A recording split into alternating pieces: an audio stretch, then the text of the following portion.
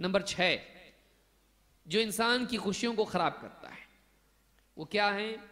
दुनिया की हिरस में गुलू। दुनिया दुनिया दुनिया दुनिया दुनिया। चाहिए चाहिए, हल में मजीद। इंसान दुनिया में उसकी हिरस, उसके सुकून को खराब करती है। इसका इलाज क्या है? आखिरत को याद करना। आखिरत को याद करना। दुनिया पर आखिरत को तरजीह देना। अल्लाह के नबी सल्लल्लाहु अलैहि वसल्लम क्या फरमाते हैं? मन का नतिल आखिरत हम जल्लाह फ़ी कल्बी ही जिसकी असल फ़िक्र आखिरत हो, अल्लाह ताला उसके दिल को गनी कर देता है, दिल को मालदार कर देता है। वह जमा लहू शमला हो उसके हालात को मुजतमा कर देता है। वह अतत हो दुनिया वही रागिमा, और दुनिया उसके पास खुद जलील होकर चल के आती है। जो आखिरत को अपना मकसूद बनाता है, अल्लाह ताला उसके हालात को समेटता है, बिखेरता नहीं है। और दुनिया आती है उसके पास, दुनिया खुद चल के आती है, जलील होके।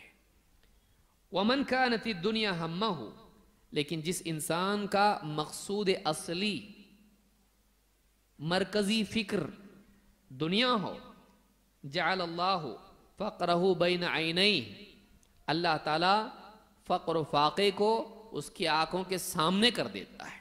आँख खोले, फ़कीर हो जाऊँगा। अगर नहीं करूँगा तो करोड़पति है।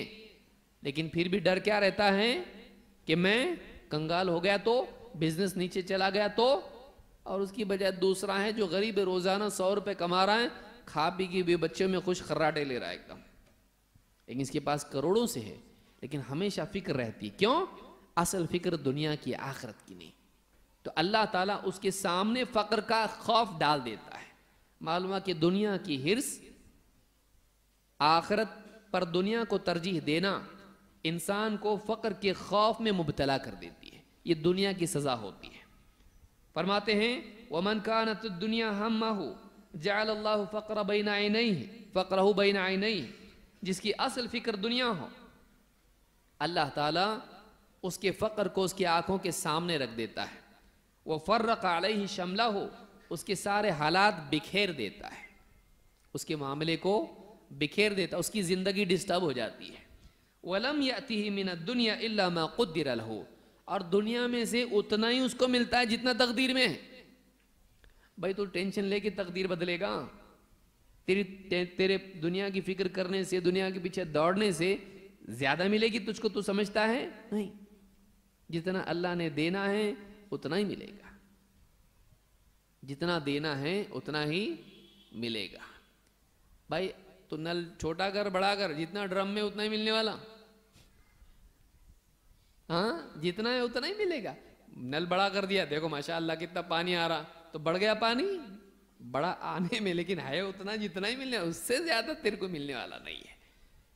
तो अल्लाह रब्बुल आलमीन जितना देना है, उतना ही उसको देता है।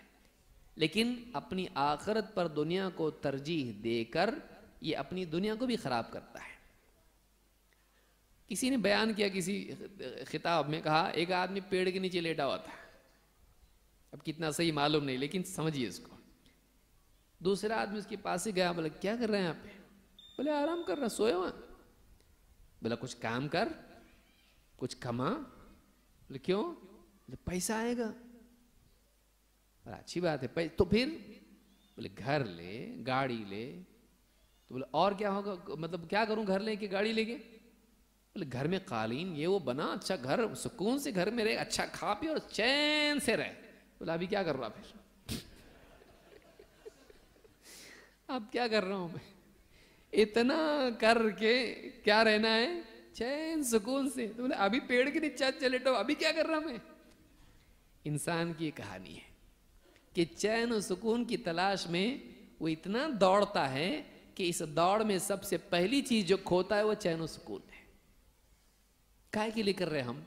बड़ा घर होना चाहिए, गाड़ी होना चाहिए, और फ़ैन होना चाहिए, एसी, ये, वो, सब सब सब हमारे पास पैसा। काय के लिए?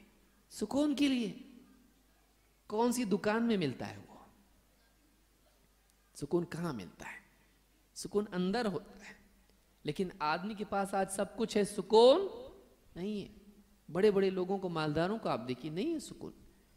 तो ये ये इंसान का अलमिया है। तो कहा, जो दुनिया को मकसूद बनाता है, माल, दौलत, दुनिया, मोटर, गाड़ी, बंगला, यही असल है। आखिरत को नज़रअंदाज करता है। ऐसे इंसान का फ़क्र फाका हमेशा उसके सामने रहता है। सब कुछ हो के भी उसे खोने का डर लगा रहता है। सब कुछ हो के भी उसे खोने का डर होता है। ये सज़ा होती है दुनिया की। ये तिरमिज़ी की हदीस है।